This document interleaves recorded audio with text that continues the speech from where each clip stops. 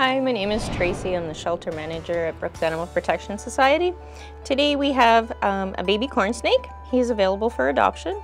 Uh, he's only a few months old, but he is eating pinky mice at the time. They will grow up to five feet in length. Pretty easy to care for. Right now he eats two pinky mice a week.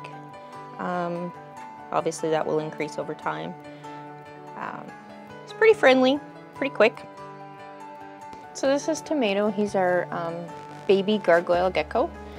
He is still under six months. He will grow up to uh, 18 inches long um, and change his appearance and stuff as he grows.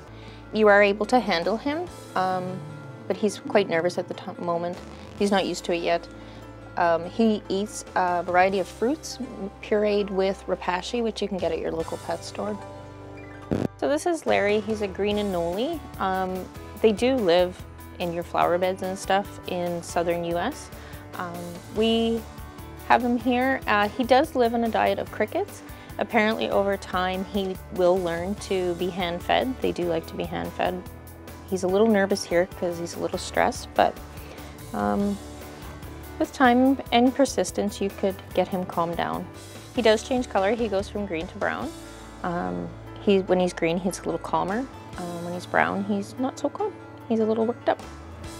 So this is a, a giant day gecko that we have got in our care right now. He is a juvenile, which means he's really young. Um, they can grow up to 18 inches long apparently. Um, very well, really easy to care for. Um, they eat a repashy, so it's not, it's just a powdered mix mixed with water. They really like their mango, um, which is kind of funny that his name is Mango also. He came to us through a, um, a seizure and transferred from another rescue. Because Mango wasn't handled as a, a newborn, he isn't, um, he's very nervous, so he needs someone that has some experience.